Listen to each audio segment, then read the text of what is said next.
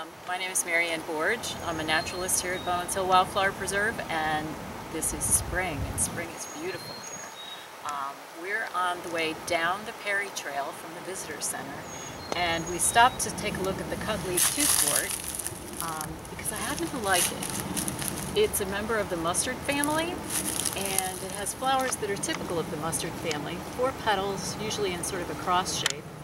Uh, it's one of our native mustards, and one of the interesting things about it is the fact that there are butterflies that depend on our native mustards. Um, a lot of people know that monarch butterflies depend on milkweeds, that their caterpillars can only eat the leaves of milkweeds. What they don't know is that most butterflies and moths specialize on some relatively small subset of the plants that are available. And cutleaf toothwort and some of our other native mustards are used by uh, a group of small white butterflies as their only caterpillar food.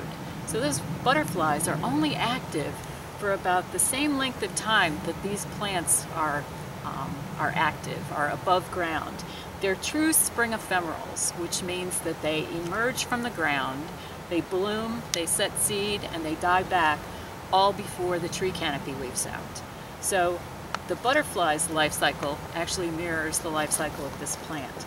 And if we didn't have these native mustards, we wouldn't have these butterflies. This is a, a plant that you'll see on trails, local trails uh, around you. It's something that's pretty deer resistant. It is a mustard family member.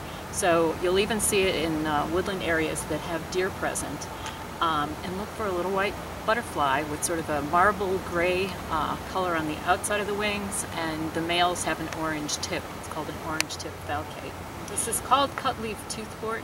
Um, cutleaf because the leaves are deeply lobed. Uh, toothwort because on the root system, the underground rhizomes, there are little projections that look like teeth and the plant was used to uh, treat toothaches and sore throats and things like that. This is kind of a neat little plant. It's, um, it offers nectar and pollen to lots of different pollinators um, primarily it would be bees or flies or bee flies that would be visiting this, this plant for the rewards it provides. So the bluebells, Virginia bluebells, are one of the big attractions here at the Wildflower Preserve in the spring. Um, interestingly, their buds begin as pink, and as the flowers start to open, the flowers change color to blue. Um, it's a signal to the potential pollinators that the flowers are open for business.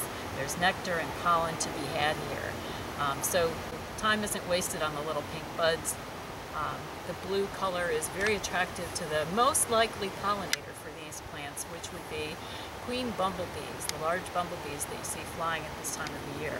When you look at the structure of the flower, there's a long tube here and the pollinator who's going to be successful here in getting a reward has to have a tongue long enough to get to the tip of that tube in order to be able to get the nectar.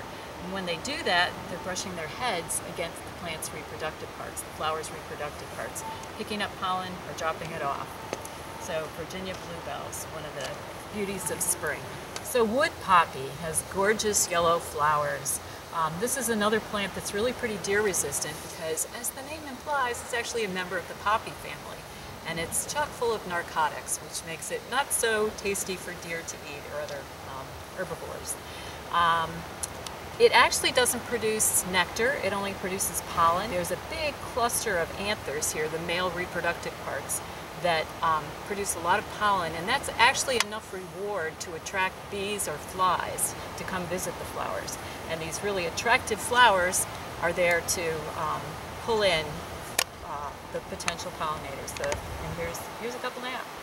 Um, documentation has it that there's not a lot known about who the pollinators are, but I've actually seen both flies and bees visit these flowers.